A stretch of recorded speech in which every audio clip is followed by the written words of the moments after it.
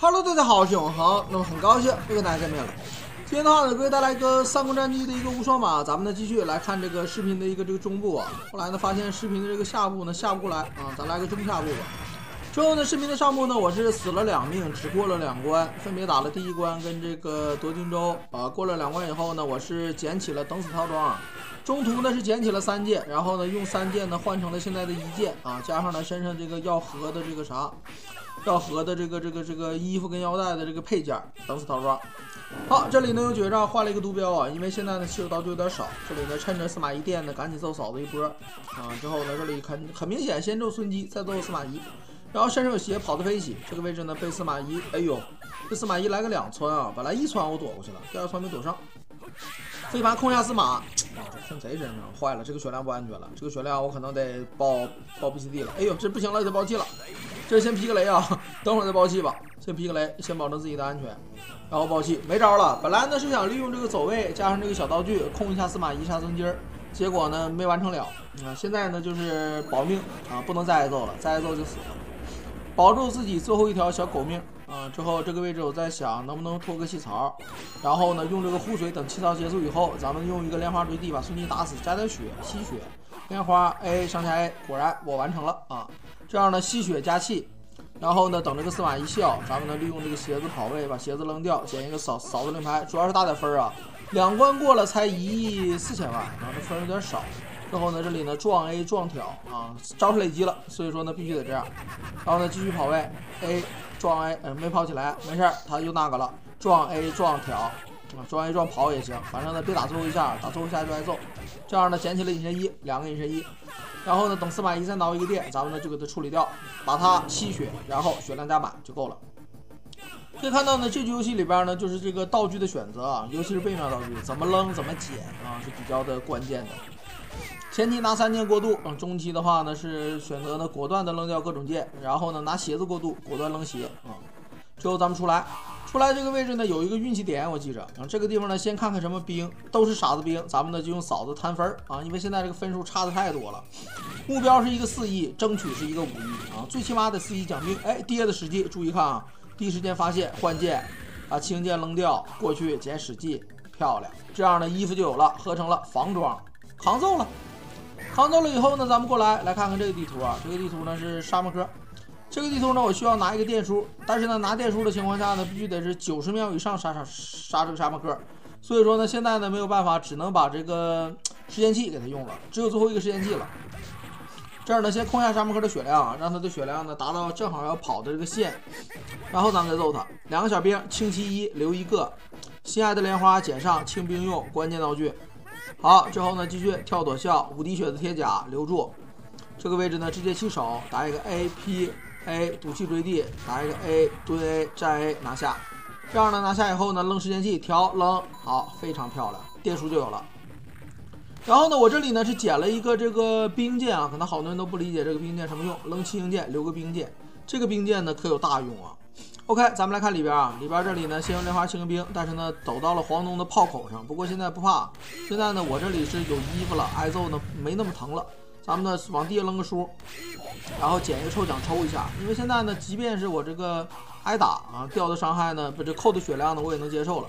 所以呢，咱现在不慌啊。现在呢是我这个比较薄弱的环节，就是说呢没有攻击力，然后呢这个只有防御力，一会儿呢打关底的这些 BOSS 呢不大好处理。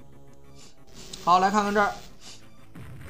呵，好家伙，大跌嗯！这里呢，莲花打地之后呢，赶紧毒气坠地，然后呢打这个诸葛亮。哎呦，这里是一个平 A 点到巧身上了，先吃口加血，然后呢跑过来调个变卖道具一扔，捡起傀儡娃娃之后呢，把这个傀儡娃娃一定，加血都不吃了，主要是傀儡定住，再把电书捡回来，然后再吃加血。之后呢，这里呢是赶紧这个黄盖跟这个谁跟这个诸葛亮一起打，赶紧把诸葛亮先打死。哎呀，太关键了。然后这个位置呢，把巧一杀，这样呢单抠一个黄盖问题就不大了啊！咱们拿黄盖练点级，打打分撞 A A A A P 摸，还能打三套啊，非常的得劲儿。哟，到秒了，这里我一看啊，灵机一动不行了，这很明显打不死了，咱赶紧挑冰剑，给一套冰剑换剑连，可以看到是吧？这个冰剑捡的是真有正事儿，没有这冰剑换剑连，这黄盖是打不死的。OK，进环境。幻境里边打点分然后出来以后呢，幻境里就打了一千多万，说实话有点少。出来以后呢，必须放马超出来啊，因为呢，我现在身上只缺一个风书，就来到了这个腰带了。所以说呢，咱得放马超，这样马超能场。咱们身上呢有一本多余的火书，要注意啊，这本火书你得给他利用上。真正的高手每一个道具都利用的淋漓尽致。然后这赵云呢在水里边开始跑，咱再给一个水，看能不能控制赵云啊。哎，停了，太好了，赶紧狂地扔火书，这样能用火书加持赵云的起身，打的伤害。要不然这个赵云剩的血量太多，你打不了。好，这里呢火书的妙用已经这个体现出来了，你看着吧，打了赵云两万滴血啊。然后呢，咱扔个九月棍儿，哎呦，这九月棍儿扔的好，九月棍儿，赵云虽然没中，但是马超中了。咱们调一个这个飞碟，等一会儿呢，背面扔一个这个捡不回来不心疼的道具，就是这小黄猪。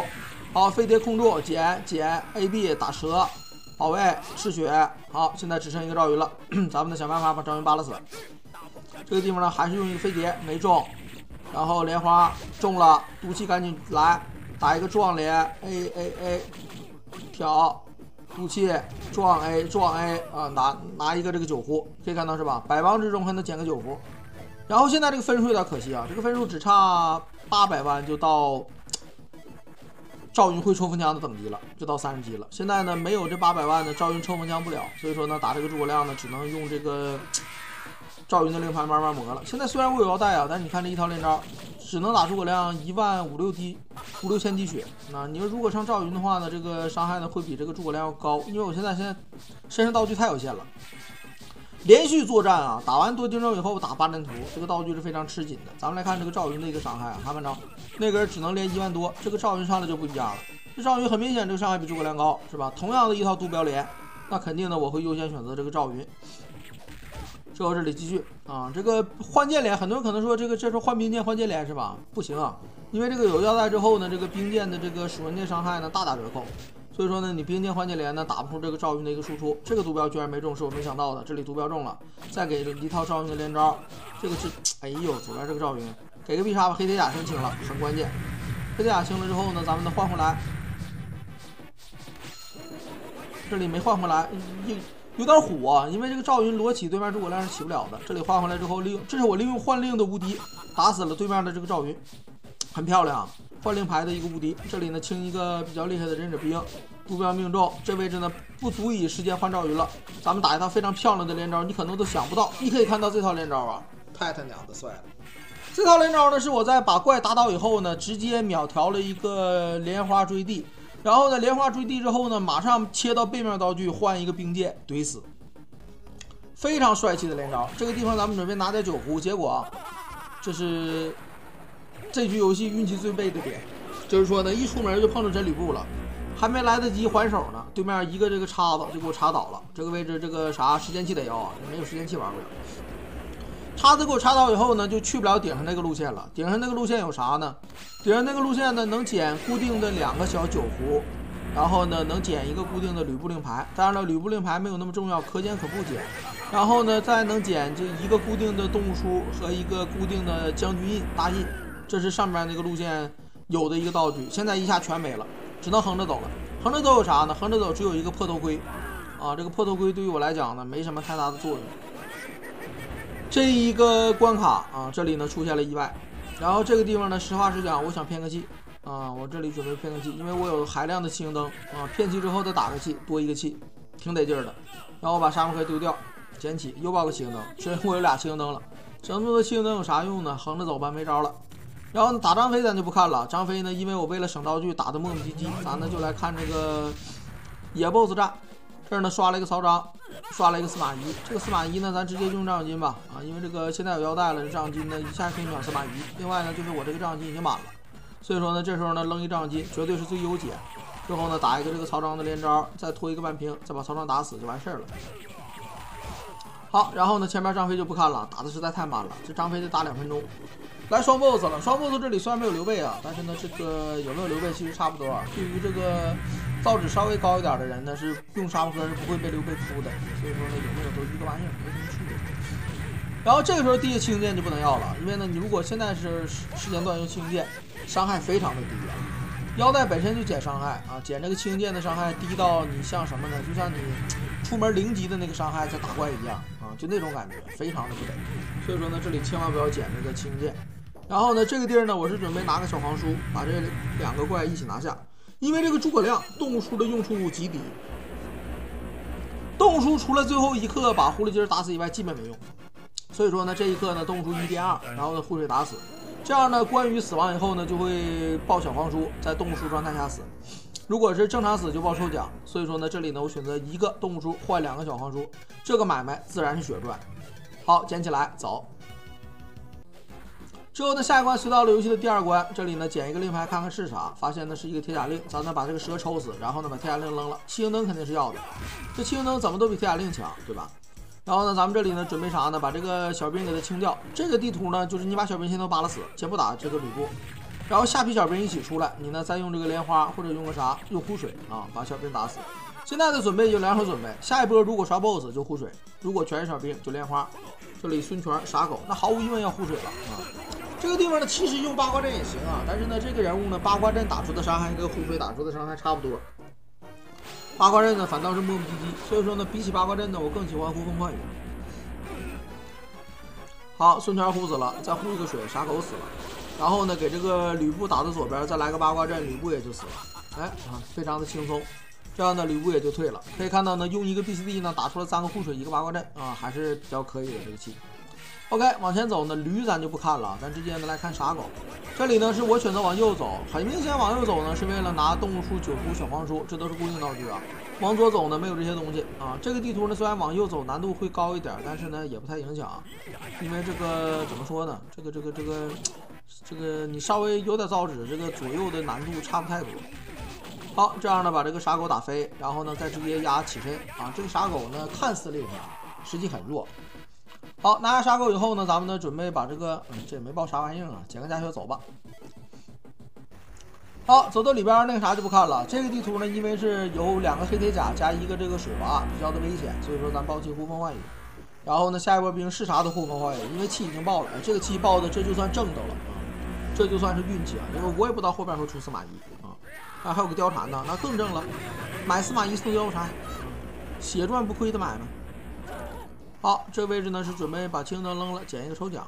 这，哎呀呀，我青灯，哎别闹，我抽奖不捡了，我青灯啊，这里扔个莲花把青灯捡回来啊，我青灯，哎好，这样的话呢，这个夏侯渊呢，咱先不拖屏幕啊，咱先搁这边扒拉死他啊，先在这边扒拉死，打一个 BA 啊，之后呢把这个夏侯渊扒拉死，再去见那个夏侯渊，就完活了。走位勾引，还是不想扔道具啊，就这种单 BOSS 我满血的情况之下是能不扔道具就不扔道具，果然。这样呢拿下，好，咱们呢往前把 BOSS 引出来，之后呢出门六六 A 上下 A，先顶一个抽奖，能不能抽是两回事，咱看一看有没有机会，有，抽个奖，爆个酒壶，爆个，我现在缺的东西很多，啊所以说我抽奖啊，因为我缺什么？你看，正面的动物书加一千一都是抽奖能抽出来的，背面的酒壶小黄猪都是抽奖能抽出来的，包括再抽个司马懿，抽个吕布令牌都是可以留下来的，所以说呢这种情况之下咱就抽，哎这个地方抱着这个竹子，咱们呢捡起来啊，把这个竹子呢存上。因为现在呢已经没有太需要莲花的场景了，咱们呢反倒去把这个竹子存上呢会得劲儿一点。这里呢张辽来了，坏了！张辽这个位置呢，因为他是夏侯渊第五优先啊，所以说呢这个张辽他是比夏侯渊优先的。咱们来看这双 boss 怎么处理啊？这双 boss 那有点造纸，两个怪呢没读到一起，赶紧的 A P A 把四一打全。然后呢这个位置呢被张辽划了，不影响跑位，调一个飞碟一空二，然后别着急 A 上下 A A 上下 A。在 A 再上下 A 反向躲张辽的位置，Y 轴 A 上下 A 反向 A 上下 A 打张辽一起 A 收掉，可以看到是吧？这一套连招呢，估计出乎了很多人的意料啊。怎么说呢？别的人物啊，别的这个玩家呢，造纸稍微低一点，来两个 BOSS 是搅和，真正的高手就拿这个 BOSS 当跳板啊。哎，这个位置我想探点分啊，实话实讲，我 我想用那个夏侯渊的令牌呢，把这个分数呢打到四亿，奔着五亿。结果呢，我一换夏侯渊。来他娘的四个 boss 一个毒蛇，咱们赶紧别扯了，直接暴击呼风唤雨吧，没有什么别的好办法。好，呼风唤雨结束以后呢，这地图就不看了，咱们继续往前，来看看这儿，这地图呢出门一个大跌直接 A B 我了，咱们呢还是暴击呼风唤雨，这没什么好说的啊。这个诸葛亮不能给他机会呼你啊，要给他机会呼你那可妥了，咱们得先呼他。还好诸葛亮血量低，咱一个呼风唤雨就拿下了，之后呢继续呼风唤雨，你看我这个气爆的又挣着了。哎，张辽啊，看看着这气这气血正啊。再胡，哎，你看这期看看不上这期又护死一个黄盖，现在呢只剩一个吕蒙加一个张辽了，咱们现在呢不能再用气了啊，剩一个张飞，这还有张飞呢，刷几个 boss，刷五个 boss，两波兵，有病吧？好，直接拿下一个张小金，漂亮。之后进到这个地图里，这地方有个沙漠科，咱们直接爆气准备护水啊！因为这个沙漠科一个护水就死了，司马懿一个护水能剩点吧？哎哎别死！哎别死啊！我隐身衣啊！这司马懿身上有隐身衣啊！千万别死啊！你死了我还玩不玩了？哎呦，这个预毒的兵差点打着我，没打着。撞隐身一来了之后呢，走位躲，来个八卦阵把他控住，过去接隐身一啊！可以看到八卦阵巧妙的利用，看看到？八卦阵控住接隐身一，四个隐身一，可以看到我这个隐身一啊，基本上没捡什么野的啊，挺难受的。该说不说，这个四剧情的这个难度呢是远远高于六剧情。这个爆率的话呢，六剧情的爆率最少得是这个四剧情的三倍往上。然后这儿呢，趁着血量现在呢还多，先 A B 两下门，因为这个曹丕身上呢有一口假血，吃完之后就满了，所以说呢这个大假血不要浪费，咱们呢赶紧 A B 闭门，要不然呢一会儿还得单独 A B 划不来。这里呢六六上下再过去 A B 守门，然后吃满假血，能看到是吧？资源的一个合理利用，正好把假血吃满。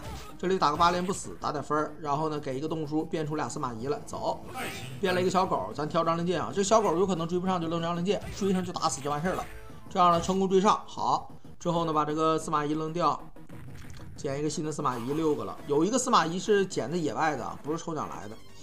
之后来到里边，里边这里呢打个失联吧。哎呦，来个诸葛亮，来个曹丕，俩 BOSS。这地方我不想用 BCD 啊，因为这个气如果你用掉了，外边呢有大量的这个小兵，万一刷更厉害的 BOSS 就玩不了了。现在起码还能玩，看完之后一套小破招连，对面诸葛亮护腿了，问题不大。我可以用一个气，保证自己有个 BCD 就行了。这样呢，用一个气呢，成功躲掉对面诸葛亮的护水，这样的问题就不大了。看班长，然后呢，优先击杀目标肯定是对面诸葛亮，一个飞碟死了，那就不用打了。然后单剩一个这个叫曹丕啊，白扯了个，白给啊，咱给一套这个小九连，烟花不要没用，拖个小半瓶，扒拉死，再见，很轻松。好，出发，继续往前。然后来看看这个地图，这地图呢刷了一个野的张辽，那二话不说直接护水啊，因为这个张辽呢你没有别的处理办法啊，你打连招倒是能打，但是呢因为夹杂着别的杂兵不好起手，然后呢这个护水呢又带出了一个沙漠壳，那也不亏，咱们呢直接把这个沙漠壳给护死，好合适，这一个 BOSS 气呢就达到了预计标准，剩一个气还可以护一波兵，咱就不看了。然后呢，来到了关底 BOSS，这里刷了个魏延，赶紧护水吧。本来这时候我不想爆气的，因为这时候如果你爆气的话呢，张辽的登场画面呢，让你的气槽会浪费很多。所以说呢，这里我开个八卦啊，张辽登场画面我利用八卦保护自己，看看着都是糟质。然后呢，爹的酒壶，咱们的一个迂回拐弯，把这个酒壶也能捡起来，顺便还能捡个飞盘。然后紧接着呢，再补一个八卦，再补一个八卦，再补一个八卦。好。最后的气槽呢补三八卦，然后呢这个气呢我也不打算用，因为这俩 boss 呢，如果你再把这个气用了，你下关开场呢是一个加 A 的难度了。他这个休闲榜到游戏的第七关三国归一统就自动加 A 了，加 A 什么意思呢？就是敌方的伤害变成双倍伤害了，也就是说呢你打的是下一 B 传说了。所以说这种情况之下呢，如果下关开场有厉害的 boss，你手里呢再没没有气，握有这个。一个气不能爆 BCD，可能会出现意外。所以说呢，这里呢我会选择走位跑位，利用点小道具把这个张辽跟沙狗杀死。这样的话呢，我下一关开场就有六气了，那就不一样了，对吧？你现在爆气你是剩一个气，你如果把这俩怪用这个走位扒拉死，那你是六个气，那是天壤之别。好，这个位置故意中夏侯渊的毒啊，夏侯惇的毒躲过了一个仗。你要是不玩沙狗，还得骂他，看没着？这游戏还得骂他，你不骂他，他不让你打啊。好，之后呢，把这个怪打打躺下，减一手加血。现在呢，就是随便杀一波小兵，后边就不再刷兵了啊。因为这个升单 boss 以后呢，有这个特性啊，我也不知道为啥，反正自从乱战枭雄就有。现在就不刷兵了，看没着？哎，啊，没事啊，这波兵杀完就不刷兵了啊。咱现在呢，把这个怪打完，看没看着没兵，咋整的？